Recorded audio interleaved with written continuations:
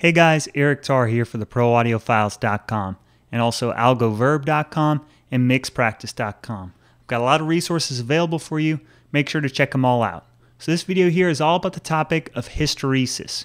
What is hysteresis? Why did Rupert Neve decide to include this weird, kind of out of the ordinary parameter on his consoles that now Brainworx has gone on to model and include in their BX console?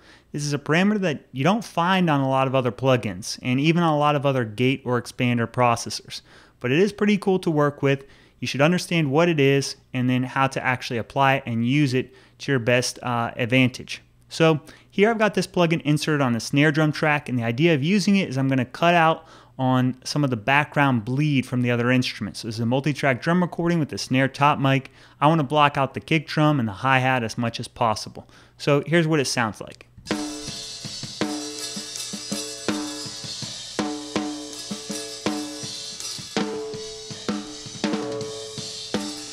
All right, so let's go through the gate and then lead up to what is hysteresis and get into that whole thing. So here on the gate, I've got the release knob. This is going to be the time it takes for the, the gate to kind of close when it's done. Here's the uh, range. So this is the amount that I'm turning the signal down as much as 30 or 40 dB in this case.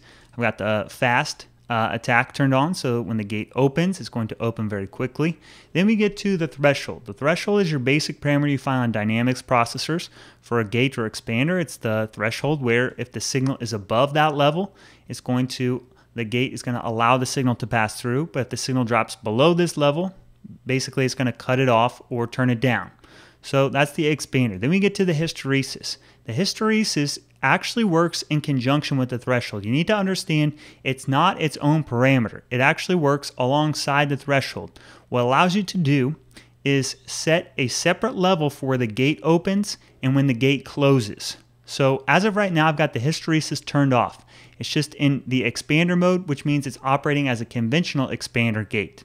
But what I'm going to do is as I turn this hysteresis knob up, what it's going to do is change the level where the gate opens. The threshold then becomes where the gate closes. So what this allows you to do is dial in the settings so that the gate only opens at the loudest hits, but then the threshold lets you um, let the tail of each hit, like the drum, each drum hit, uh, go on for a little period of time and then eventually close. So what I'm going to do here is kind of show you step by step how to use these things. First, I'll set the threshold as close as possible, and you'll see that when I just set the threshold by itself, it sounds pretty good. It's accomplishing most of what it's supposed to do. But then when I bring in the hysteresis, it becomes a whole lot better of an expander gate. So listen to it now.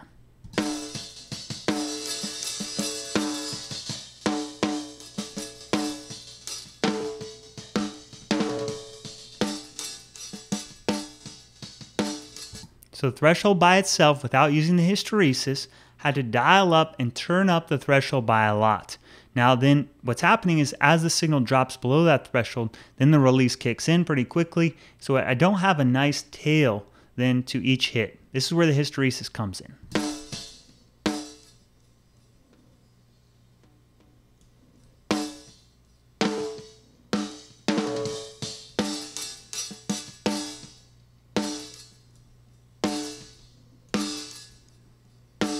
So the thing to understand is, again, these two things work together. So you can't just set the threshold and then turn up the hysteresis. What you need to do is work them one along with the other. So maybe you turn up the threshold, then as you bring up the hysteresis, back off the threshold a little bit. Turn up the hysteresis more until you find the sweet spot. The threshold can't be too low and the hysteresis can't be too high.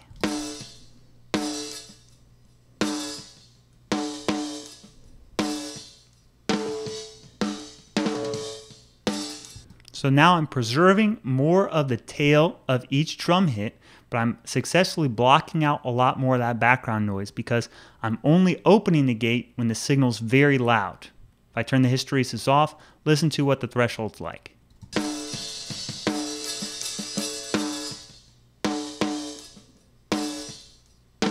Now, if this is difficult to understand what these parameters are doing together, I'm going to bring up another plugin that gives you a better illustration of how this actually works. This is the C1 gate. This is one from Waves, uh, and it has the ability to set separate gate close and gate open levels. So you can operate these things independently or together. Now, this is not labeled as hysteresis, but it's accomplishing the exact same thing. Set the level where it opens here at the top, so a higher level, and then where it closes here at the bottom. You can accomplish the same thing. Now, another parameter that shows up that's helpful here on the C1 gate is this hold level. Now, if I didn't use a gate close, if I just had these things working together at the same level, you could pretty much get the same results by using this hold to kind of preserve more of the tail of each hit. So depending on what kind of plugin or processor you're working with, if your plugin, if your gate doesn't have hysteresis, that's not a problem. It probably has a gate hold level uh, where you can turn this up and besides the release here, you can have the gate hold. And you know, this is your stock plugin that comes with Pro Tools. If you're trying to accomplish that nice uh, smooth tail for each drum hit, mess around with the hold. If you don't have hysteresis, you'll pretty much be able to come along with the same thing. Really, the hysteresis knob is just a old school way of doing the hold, where you didn't have the ability to set the hold level, so now you have a separate threshold that you can set. But in the end, you come up with very similar kinds of results. It's just kind of a weird user interface or UX kind of experience that was built into the Neve consoles that you don't find anymore on many other kinds of plugins. So anyway, hopefully now you better understand what hysteresis is all about, why you could use it in certain situations. So until next time, take care, guys.